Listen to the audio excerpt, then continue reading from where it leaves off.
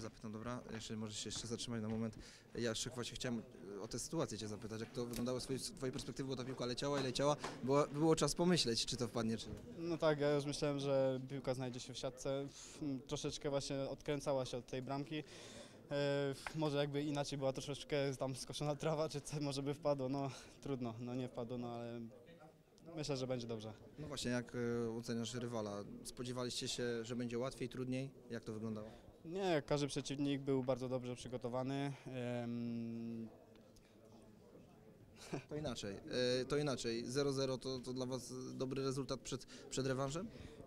Nie, no lepiej by było, gdybyśmy właśnie strzelili jakąś bramkę, byłoby może, może troszeczkę luźniej e, na wyjeździe, no ale nic, no trzeba będzie tam dobry, zagrać dobry mecz i wygrać. I tyle, dzięki. Dziękuję.